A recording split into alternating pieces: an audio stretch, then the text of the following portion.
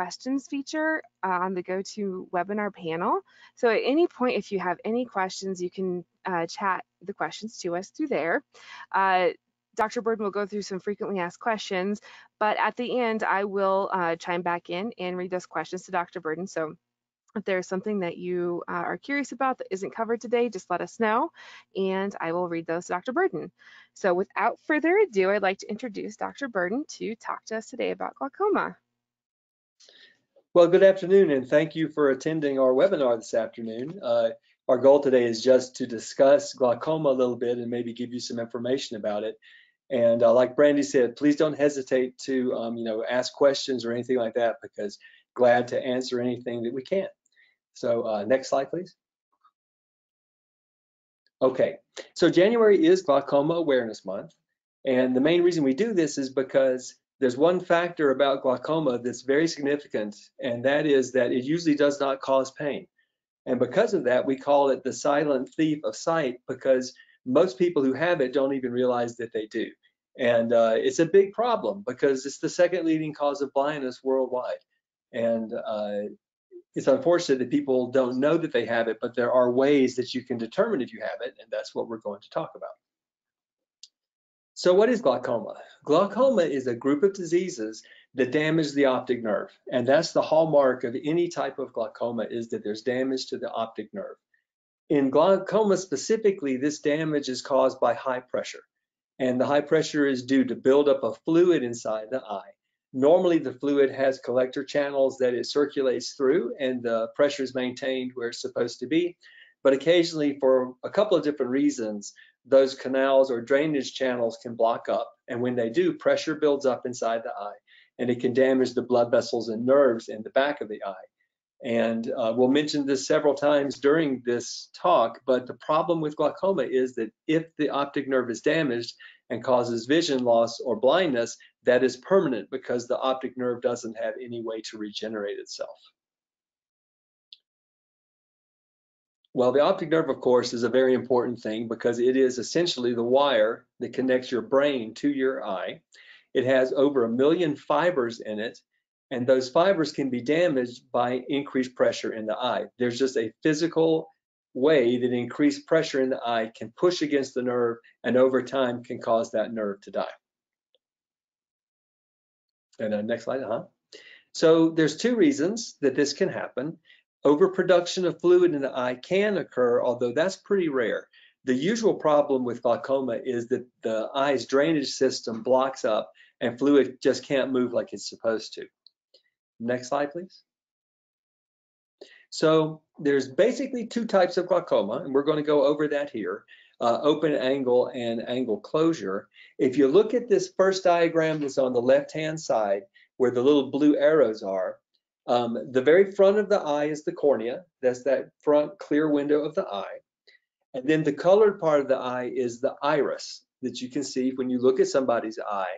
The pupil is the opening in the middle, and directly behind the pupil is the lens in the eye. Um, you may have heard from previous talks that uh, the lens is what turns into a cataract in time, but the fluid that is produced in the eye is produced behind the lens. It then comes over the lens where you see that blue arrow. It goes through the pupil, the opening in the iris, and then it goes into collector drainage channels. And so where the angle of the cornea meets the iris is the area where those drainage channels live. Now, in open angle glaucoma, which is the vast uh, majority of glaucoma that people have, those drainage channels are open. It's just fluid isn't getting to them, usually for genetic reasons. Uh, you know, you're, you're dealt a genetic card deck when you come into this world.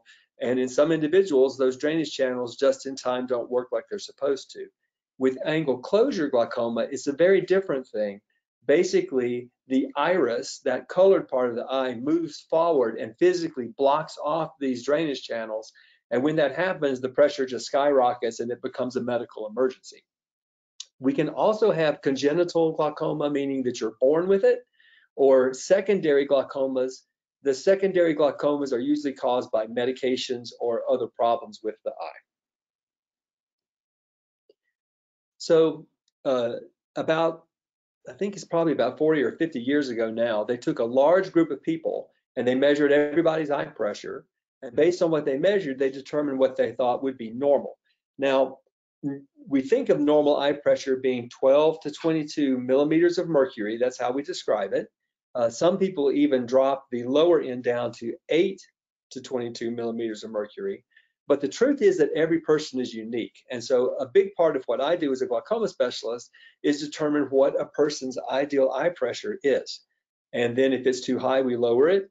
Or if it's below a target pressure, then we just monitor it. Again, we keep saying this, but the, the most important thing to know about glaucoma is that for most individuals, it is completely painless, especially in the early stages. And so you can have it and potentially need to be treated for it, but just not know that it's present.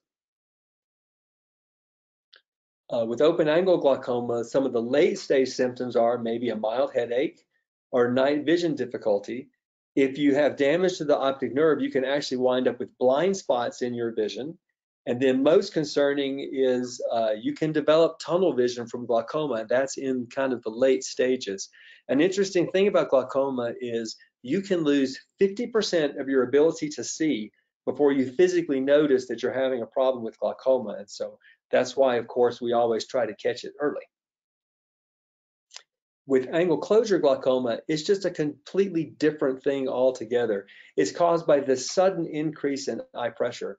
And when that happens, people get very blurry vision. They can get incredibly severe eye pain, nausea, and actually vomiting with that as well big halos around lights, and very, very, very severe headaches. It is not a subtle condition. It causes tremendous pain in the eye. And the difficult thing about angle closure is when the pressure skyrockets like that, we frequently have a very limited amount of time to get to that person and perform emergency surgery to fix them. So there are certain ways that the eye looks in a person that is prone to get this type of glaucoma. And so again, that's a reason that we try to do examinations on folks and determine if they have a problem. so anyone can get glaucoma. There is nobody who is immune to it. And so how can you know? Well, it's really straightforward. Routine eye exams, which everybody should be getting anyway for other reasons of eye health, are the way that we do early detection and can then treat patients. And it's estimated that around 3 million Americans have glaucoma, but only about 1.5 million, half of those folks, know they actually have it. There are many risk factors for glaucoma, but some of the big ones are a family history of glaucoma. If you have a first degree relative, meaning a parent or a sibling that has glaucoma, you have a 10% increased risk of getting glaucoma yourself. Individuals over the age of 60 are more at risk. And actually, if uh, you're in the population that is 80 years old or older, there's a 20% um, incidence of glaucoma. So that means one in five people who are over 80 have glaucoma. Uh, diabetes affects everything in the body, and the eye is included in that. And so, folks with diabetes have a greater chance of getting glaucoma. And then, certain populations are more susceptible. So, African Americans over the age of 40, which is very young if you think about it, um, are more susceptible to glaucoma. And individuals of Hispanic origin are also uh, much more at risk for glaucoma. Now, the treatment for glaucoma is pretty straightforward. Uh, we start first with medicated eye drops, and there are six different classes of eye drops. So lots of different options to try either individually or in combination to get um, the eye pressure down. And the vast majority of people with glaucoma are easily treated just with eye drops. Now, we also have pills oral medications, one in particular, they can bring the eye pressure down, but it has a host of pretty severe side effects. And so it is never used as a drug to treat uh, glaucoma routinely. It is used emergently when we have to get the pressure down for short periods of time. Now, if medications don't take care of things, then of course the next step is going to be surgery. And so the first one we try is laser surgeries. So selective laser trabeculoplasty is a surgery that specifically treats the drainage channels in the eye to try to increase um, outflow of fluid. And if that doesn't work, then we put in drainage tubes, which are physical devices that are sewn to the eye, a type of shunt to remove fluid, or do a thing called a trabeculectomy, which is a procedure where we make an opening in the eye underneath the tissue to try to get fluid to flow as well. Individuals who are at risk of developing angle closure glaucoma, and that's the one where the iris pushes too far forward and closes things off, we treat with a thing called a laser peripheral iridotomy, which simply is a procedure with a laser to make a small opening in the iris so the fluid can flow like it's supposed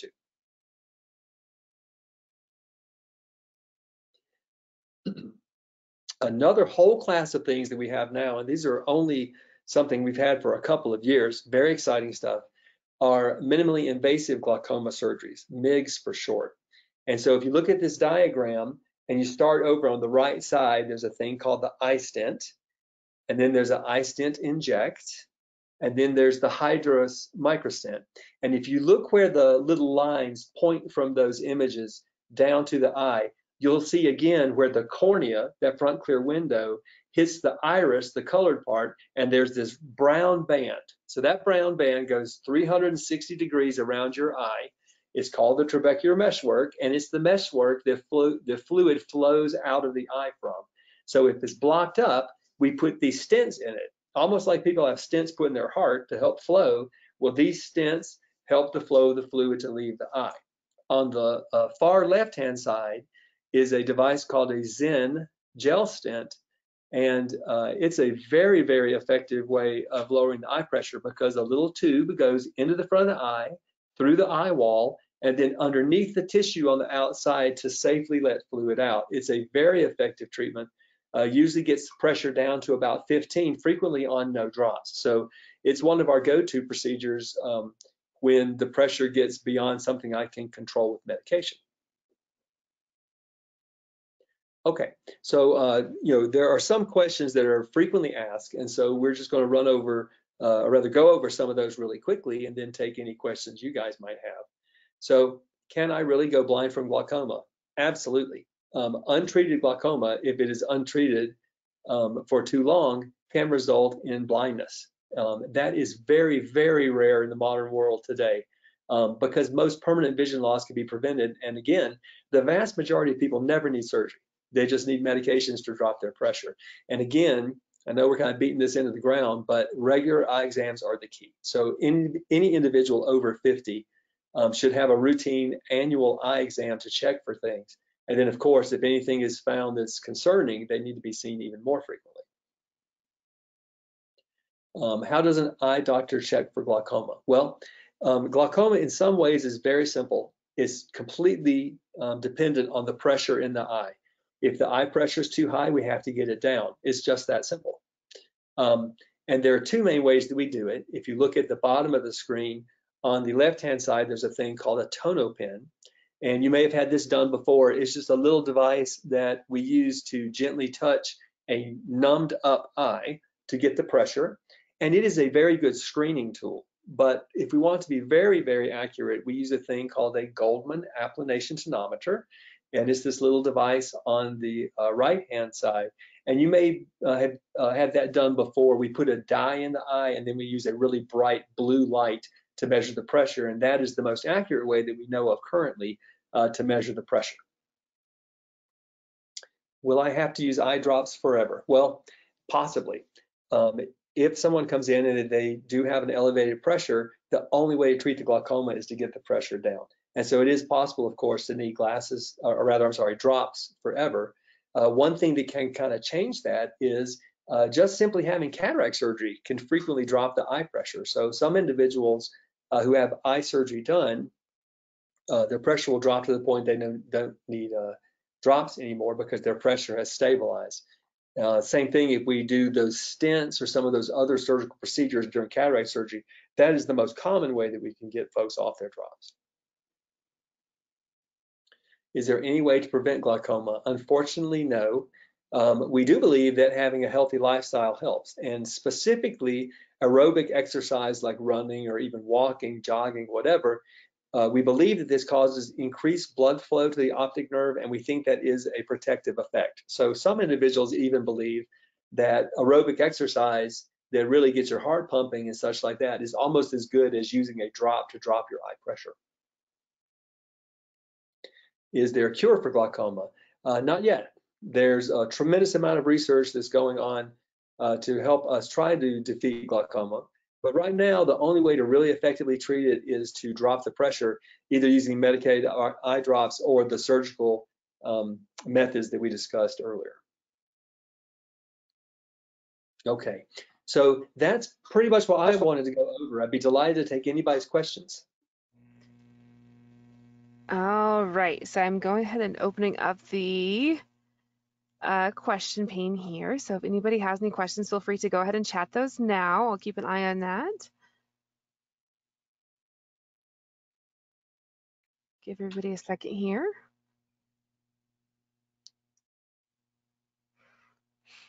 And then just to let everybody know, uh, we will actually make this recording available uh, after. Um, we'll probably send it out Monday via email. So if anybody wants to rewatch this or share with a family member who might have glaucoma, we'll make that available to you. Um, so watch your email. Uh, let's see. Are there any questions today? Looks maybe Dr. Burden covered it. Oh, there we go. Um, normal pressure is 12 to 20 plus. What if your pressure is less than 12, but you're still diagnosed with glaucoma? That's a great question. So um, glaucoma is really in some ways broken down even further. And so you can have what's called normal pressure glaucoma, and that's you know the folks um, whose pressure is under 21, or then you can have glaucoma where the pressure is higher than say 21 or 22. So with with low pressure glaucoma, even though the pressures are down to maybe even 12 or 10, um, the people still have progression of their glaucoma. And we think that that's probably due to some other pathologic process that we just don't know about. But the bottom line with those folks is that the treatment's the same. Even if someone comes in with a pressure of 10, which is very low, we try to get those pressures even lower. Um, uh, it's very difficult to get the pressure uh, lower than about 8 to 10 without some pretty significant surgery. And then you run into the problem that you don't want to have the eye pressure too low because if the eye pressure is too low, the eye will also not function correctly. So it's sometimes kind of a delicate balancing act. Perfect. Uh, do the optic nerve cells die? And if they do, um, does it endanger the cells around them? So a, a, good way to think about the optic nerve is that it is just a whole bunch of little wires bundled together. And so uh, the increased pressure can damage individual fibers of that nerve. And that's how we begin to get defects in the visual field. And so we frequently do a thing called a visual field test to try to find those defects. If those fibers die, they're gone for good. And there is no way to regenerate them at this point. There's a lot of stem cell research going on to uh, try to figure out ways to revitalize the nerve or make the nerve regrow. But uh, currently, if those nerve fibers are damaged, uh, it, it's a permanent thing. It doesn't really affect the tissue around the optic nerve. So it's primarily just the nerve that uh, has a problem. Is neurovasc the same as angular? So neovascular glaucoma is basically a type of glaucoma that happens when blood vessels grow where they're not supposed to. So if an individual has diabetes, one of the things that can happen in the eye is that the eye on a kind of a, a molecular level starves for oxygen. Um, and what the eye does then is grow new blood vessels because your eye, just like the rest of your body, has these miraculous ways that it tries to fix itself. Well, unfortunately, these blood vessels can grow into that drainage channel where the cornea meets the iris. And if that's the case, they can form a membrane and no fluid can get through. So when someone has neovascular glaucoma, it has actually blocked the angle, even though the angle is still open. And the way we treat that is usually with tubes. Uh, we just bypass the whole drainage system altogether to get fluid to leave the eye. Okay, a bunch of good questions just came in, Dr. Burden, so I'm going to right. tackle these. Um, all right, so one of them is there's actually a, a couple um, that are in their 60s uh, that both have been diagnosed with glaucoma, and they're curious if living at altitude affects pressure. That is a great question because you would think it would, right? Um, but actually, it doesn't. The eye is a very isolated organ within the body, and um, the pressure in the eye regulates itself. So even if you're flying or you're going, you know, up a high mountain hiking, the, the, the pressure in the eye actually modifies itself very quickly in response to the outside air pressure. Uh, so regardless of where you are, the eye will just auto-regulate is what we call it. Okay, and this is um, a little bit of a one-off, but is the visual field test part of my annual eye exam? So we only do a visual field test if somebody has something that makes us think they might have glaucoma. So if a person comes in with a high pressure, absolutely, we're going to do that. If somebody comes in and we take a look at the nerve physically with a lens, take a look at the nerve and the nerve looks abnormal, we get a visual field. And then if we uh, wind up scanning the eye, because there are a couple of technologies that allow us to actually physically measure how thick the nerve layer is, very powerful technology. Um, and if that looks like it's thin, then the next step is to do a visual field test. But we don't typically do it unless somebody physically feels they have a problem with their vision or we see something abnormal. So that kind of goes in into this question. How effective would you say the little grid test at regular checkups is for detecting signs of glaucoma? So um, if you're talking about an Amsler grid, which is that little grid that's given to you sometimes, that actually is not for glaucoma. That grid is for looking for macular degeneration. Um, the the difficulty with trying to measure uh, the visual field in any way other than the machines that we use is that your eye is very good at compensating if there's some type of loss. So you would have to have really, really advanced glaucoma loss before it would ever show up on that grid. Um, and for folks who haven't done a visual field test before, basically it's a bowl-shaped machine that you look into and uh, there's a light that you stare at throughout the entire test and a computer flashes lights in your peripheral vision and you push a button when you see those flashes of light. It sounds super easy, but the machine varies the intensity of those lights from very dim to very bright. It also varies the size of the dot that is flashing, and so it can be a pretty challenging test. Um, I can tell you from experience that visual field tests are the things that most of my patients like the least but it's also the um, absolutely most sensitive way to detect glaucoma. If a parent had glaucoma and I had cataract surgery, is there is there a reduced risk? So the risk stays 10%. Um, uh, and then that's just a genetically driven thing. So, and that's a risk that you have throughout your life. But can't stress enough that just like almost everything else in the body, the older you get, the greater the chances that something breaks down. And so that's why those routine exams are so important. Uh, does a warm eye pad for 20 minutes help drainage? So um, what that does is wonderful things for blocked up oil ducts in your eyelids. It's a great treatment for um, dry eye. But with the eye being such an isolated structure, the warm compresses will neither help nor hurt them inside your eye. Um, I have cloudy floating areas in my eyes occasionally. Is this a symptom of glaucoma? So any type of intermittent kind of short-term fluctuation that you have is typically not caused by glaucoma. So vision that is lost by glaucoma is permanent and anywhere you move your eye, that little blind spot will stay with you. All of us have, um, well, I shouldn't say all of us, but most of us by the time we're over 50 have floaters in the back of the eye and the fluid that's behind the lens. And so that can certainly give you these intermittent little areas that seem to be missing. And then one thing that a lot of people don't realize is that dryness of the eye is a huge problem. 60%, 60% of your ability to see clearly is based on a nice smooth tear film on the front of your eye. And it's so dry in Colorado to begin with. And then you mix in the winter and heat and all this other type stuff. And pretty soon you can dry out to the extent that you have just these fluctuations in your vision. It's great sometimes, it's worse other times. You may find that if you blink, it makes it a lot better. If you're having things like that happen, the very first thing to do is actually to use artificial tears three or four times a day to see if that will help. Great. Uh, what causes pressure to increase after cataract surgery? Very good question. Um, it can sometimes be that the cataract surgery will trip the mechanism that was present already that was going to cause the pressure to increase in the future. Um, if a surgery is complicated in any way, that can sometimes also affect the drainage system in the eye. But some individuals, their eye just responds to having surgery in an unusual way, and that can include increasing pressure. Uh, do you know the institutions that are doing stem cell research? Oh, I'm sorry, I don't.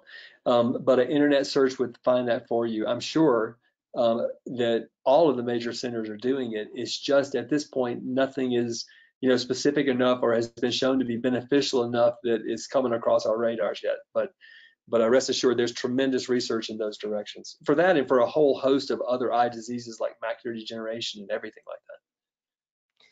Great. Um, and then this is kind of a, a, a piggyback on that uh, couple, or the question from the couple. So to clarify, since only 3 million people have glaucoma, statistically doesn't make sense that both of us have been diagnosed with glaucoma, a couple that's 62 years of age. Well, hmm.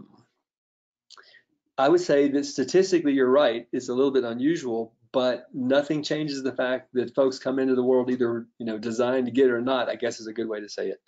And so um, you're right. I mean, the, the two of you would have found each other with glaucoma is pretty unusual because uh, just thinking of my own patient population, I don't have a lot of folks where both members of the family have it. It does certainly happen though.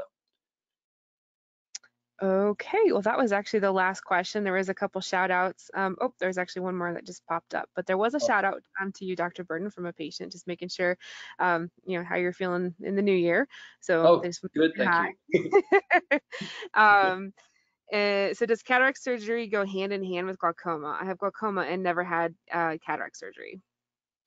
Um, so there, there, there are two separate things that occur in the same organ, I guess is a way to think about it.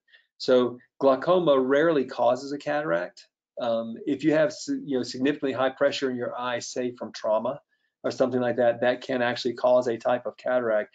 But they're usually just two different things that occur at the same time. So you know an eye can have multiple disease processes. You know because certainly a cataract is a disease process, so is macular degeneration, so is glaucoma. So lots of different things can happen in a single eye, but the two aren't related as far as one causing the other or something like that. Perfect. Well, that was the last question, and I know we're getting short on time here. Um, I just want to uh, thank you uh, for being with us today, Dr. Burden, and thanks, thank you to the audience for uh, joining us and asking such great questions. Uh, again, we'll make this available and send out a link to everybody um, probably early next week. Um, feel free to share it with your friends and family. It's something we want to raise awareness about um, just so um, people can save their sight. Um, again, thank you everyone. And people are telling you thank you to Dr. Burden on the chat here. So thanks, thanks for your time and everybody have a wonderful weekend. It was a pleasure. Thank you very much.